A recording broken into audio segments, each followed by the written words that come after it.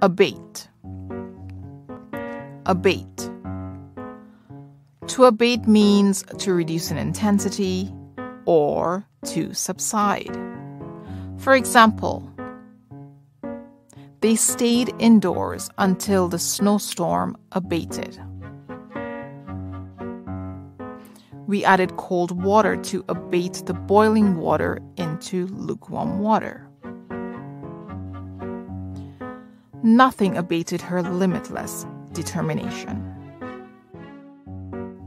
So, next time something reduces in intensity or subsides, why not use the word abate instead? Hit the like and subscribe buttons for more videos like this.